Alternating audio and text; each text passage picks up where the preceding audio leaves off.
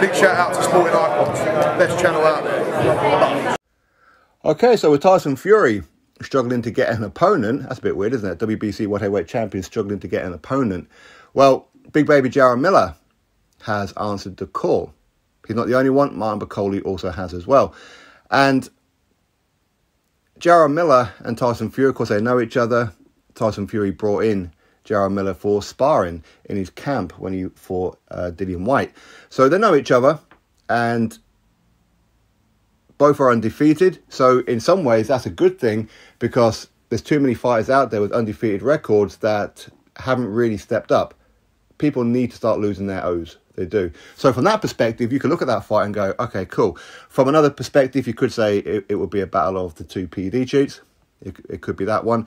But also, in some ways, it's a good fight for Tyson Fury in the sense of he may actually get a lot of the Anthony Joshua fans on his side in that particular fight because of what Jarrell Miller done with all the PEDs that he took and whatever else for the Anthony Joshua fight. So Anthony Joshua fans really dislike Jarrell Miller.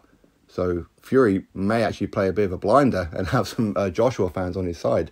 Um, but is it a fight that can happen? I mean, potentially it can, but if we're to go by WBC rules, where the WBC World Heavyweight Champion or any champion can only defend that belt in a voluntary, which of course this is what it would be, a voluntary, against someone in the top 15, Jarrell Miller is not ranked in the top 15 of the WBC. He is in the WBA. I think he's actually ranked number 10 in the WBA. But as far as the WBC is concerned, he's not. So if, if we to go by their rules, then that fight shouldn't really be happening, should it? But we know what the WBC are like. They've bent the rules before. Well, they've done it with Tyson Fury, didn't they? In the first Deontay Wilder fight, Fury wasn't ranked in the top 15 of the WBC. They made the fight, and then he miraculously appeared in the top 15, didn't he? So they can and do bend their rules, that is for sure. But is it a fight that you all want to see? Do you want to see Miller and Fury? Would that sell out a stadium here in the UK? Maybe. Maybe. I think a lot of people will probably buy a ticket just to watch Jared Miller get punched up. A lot of people buy a ticket to watch Tyson Fury get punched up. That That's two people whose reputation here in the UK is very, very low. Very low. But that doesn't mean people won't buy tickets, and that doesn't mean people won't buy it. Now, the other person who has mentioned Tyson Fury, who is ranked in the, in the top 15 of WBC, is Martin Bakole.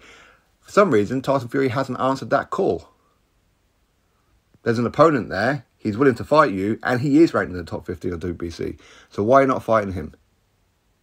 Anthony Joshua isn't in the mood to be playing any more games with Tyson Fury, to go through long, drawn out negotiations only for Tyson Fury to play silly buggers, as he has time and time again. So we have to give credit to Anthony Joshua for not putting his hand in the dog's mouth again. Fury seems very reluctant to take on Alexander Usyk, makes all the excuses in the world, and if anybody believes those excuses, well, that's on you. That says more about you than it does anybody else. But a fight with him and Miller, is that of interest? Maybe. I think that fight may actually do better numbers than what a lot of people think that it would. We'll have to wait and see, I suppose. Let's see if that happens. Drop your thoughts below. Click thumbs up, subscribe. Catch you next video.